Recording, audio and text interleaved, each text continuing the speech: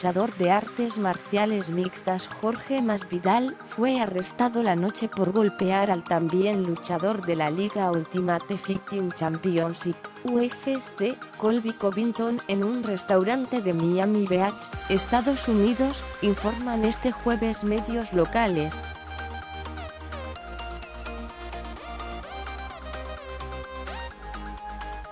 Una noticia que se da este día, cuando Conor McGregor también ha sido arrestado. Más Vidal salió en libertad la madrugada de hoy tras abonar una fianza de 15,000 dólares, luego de ser detenido con cargos de agresión agravada con daños corporales y vandalismo criminal, informó el canal local de Miami WPLG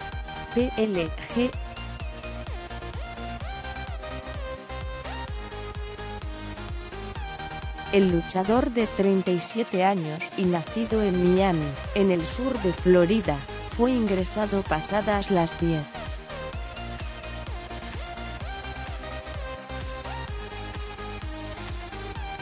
30 la noche del miércoles, las 2 y 30 GMT del jueves, en la cárcel Turner Guilford Nick por efectivos de la policía de Miami Beach por haber golpeado a Covington en un restaurante del barrio de South Beach la noche del lunes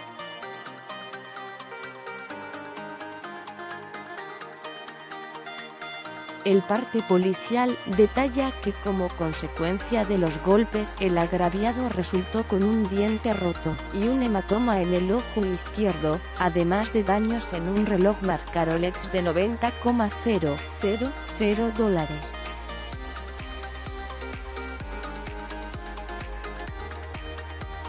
Imágenes registradas por el canal local WPLG muestran a Covington saliendo del local tras la gresca, así como a Masvidal abandonando la prisión la madrugada de hoy sin hacer declaraciones y cubriéndose el rostro.